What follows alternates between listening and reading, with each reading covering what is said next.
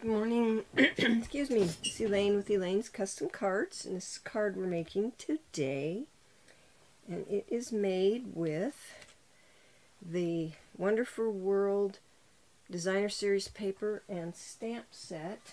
And it is a free item in Sale-a-Bration. If you look on page 14, there's a stamp set and the beautiful paper and we're using this paper right here. Okay all the sizes and dimensions are on my blog so if you miss something just go over to my blog. Just click the little down arrow and that will take you to my blog with all the sizes the supplies everything. So let's get started on this card I've got all the pieces cut out and ready to go. I've already stamped them. I stamped the envelope with the flower right here, this flower here. And then I used Inspired Thoughts for the um, sentiments on this card. So, I know I have everything here. I like to if I'm going to be using a circle or a square or whatever, and I have this and I'm going to cover this up, then I like to cut out of the center. So we're going to go ahead and glue this to the front of our card. And I always make a habit of stamping the inside first, so if I mess it up, I can go like that. And I've been known to stamp crooked, so let's go ahead and put this card together. This is Melon Mambo. My card base is 8.5 by 5.5, scored at 4 and a quarter. This piece is 5 and 3 eighths by 4 and 1 eighth. Just going to center that right on the front. So, this is the designer series paper and it is directional so you want to make sure you put it on there right side up.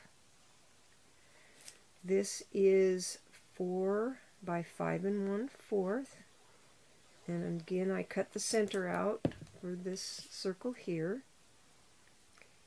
So I'm going to just lay that on there just like so.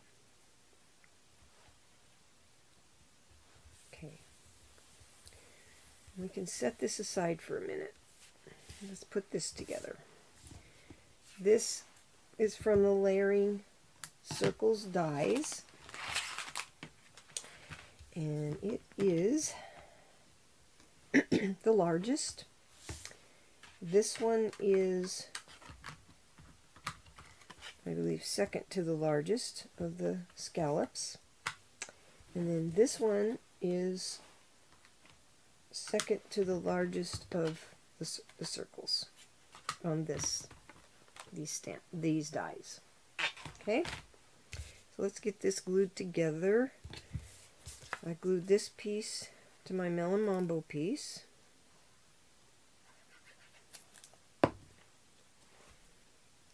Like so.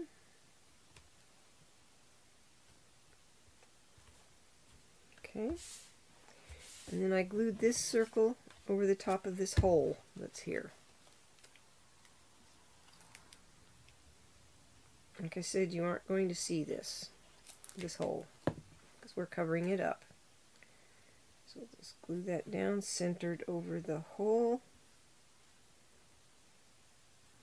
Now you can do this cutting anywhere on here. I just did it kind of closer to the bottom of the card.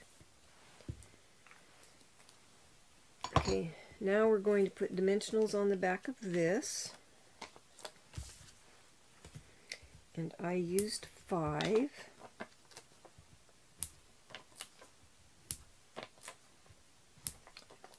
Okay.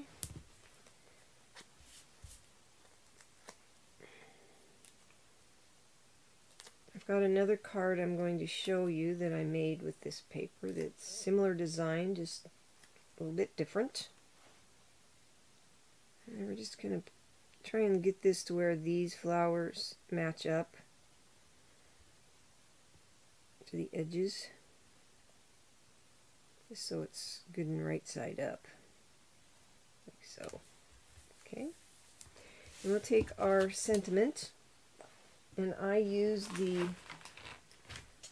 get this out, I use these dies, they're the, let's see what to say, stylish shapes, and I use this, this one right here. Okay, for this. And we're going to put uh, I think I just put one dimensional on the back of that on the right hand side over here and then I put a little bit of glue right there because we're going to overlap that circle and you don't need any more glue than that okay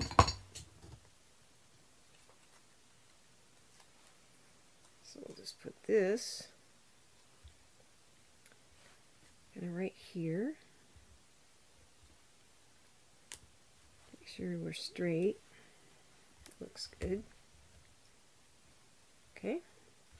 And then I cut out a butterfly using the uh, Brilliant Wings dies, and yes, I cut my dies out cut them apart because I, I found them more useful cut apart. And I just put them in a bag so I wouldn't lose them. And then I, I die cut this with the um, this shimmer paper. This is the in color, and I took and cut from the the um, lighter portion of this. This is the Orchid Oasis, and I just cut a small piece off. And this is about one and one fourth. You, uh, you could get it by one and one fourth by two inch and get one. And then I did the same thing with a piece of vellum. And I used this one to cut the vellum out. Because I wanted that behind my butterfly. So then I put glue dots on the back of my butterfly. And these are the ones from come in paper pumpkin if I can get them off. Put those on there. And then centered that on my vellum piece. I think I did this also on my last, why isn't that fitting? It's kind of hard to see. Sure which direction this goes. I think it goes like this. Doesn't really matter, I guess. So I get over the top of your vellum. like so. Okay. Then you're going to need glue dots on the back of this. These little glue dots from Paper Pumpkin work really great for things like this. They're small because I don't know if I'm trying to use these up. I have quite a few because I don't normally use them with my paper pumpkin kits. I like them for small stuff like this.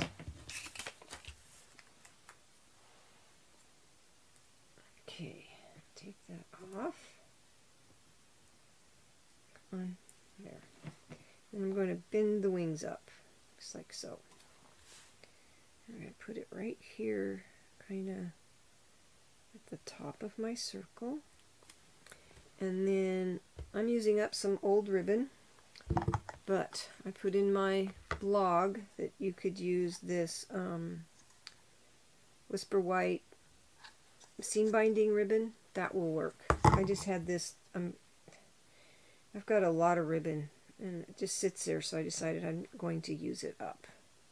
And then I just put this kind of right here in the corner, kind of tried to center it as best I could here. And then I took some of these rhinestones and the smaller ones and I put three on the butterfly right down the center of him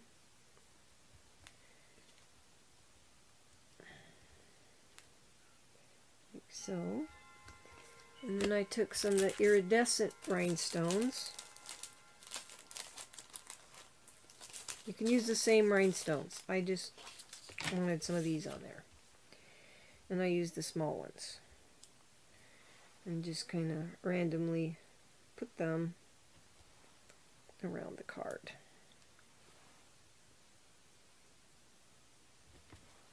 It's kind of around the circle, like so. Let's put that one right there. Okay, and then I stamp the envelope with the flower. The inside looks like this. And I'm going to show you how I did this the um, flower.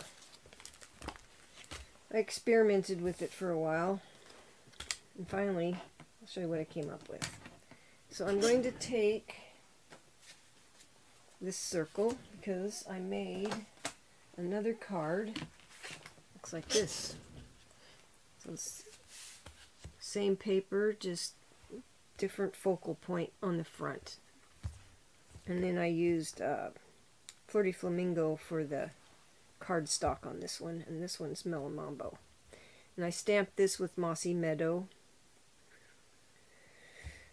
So let me show you how I stamp this. Let me get scratch paper. So I took my flower image, took my Flirty Flamingo. Like I said, this, this is in that stamp set right here. And I very carefully just got the edge of it, just like so. To try and get the whole blossom. Okay? Close that so I don't get my fingers in it. And I took my Pear Pizzazz and did the same thing to get the leaves. It's tricky. Kind of have to look at it sideways. Okay. And then, now, if you didn't get all the leaves inked up, take your Stampin' Write marker and the brush end, because he's kind of dark anyway. And I just kind of spread the green around, like so. So that it wasn't so thick. For some reason my um, Pear Pizzazz ink is very thick. Juicy, maybe that's the word. So I just spread that around. And then I'm going to just stamp it in the center there.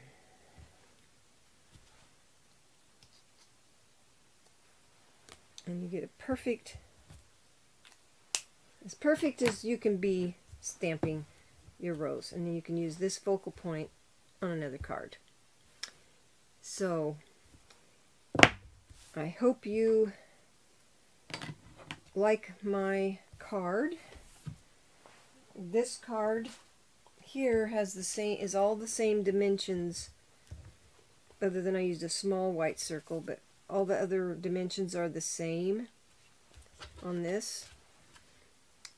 Um, this is this is a smaller um, one of these also the scalloped circles and then this is smaller. But everything else is the same other than the colors. So Anyway, um, Sale-a-Bration is started with a hundred dollar purchase um, in my online store. You can get um, this stamp set and this paper for free. It's gorgeous paper. Um, I like it. I like flowers. So anyway, I hope you have a blessed day and Remember to subscribe and like my video. Leave me comments. I respond to all of them. So I'm getting closer and closer to a thousand subscribers so that I'll be able to do live videos. As soon as I reach a thousand, I can do live videos on YouTube and then interact with people who um, comment in the live. So keep subscribing and liking my videos. I do this I am a Stampin' Up! demonstrator, but, and it, this is my business, but I enjoy it. It's fun, and I enjoy sharing my ideas with you. So you have a blessed day, and remember to push the down arrow. It'll take you to my blog, my online store, and subscribe. Thank you for watching.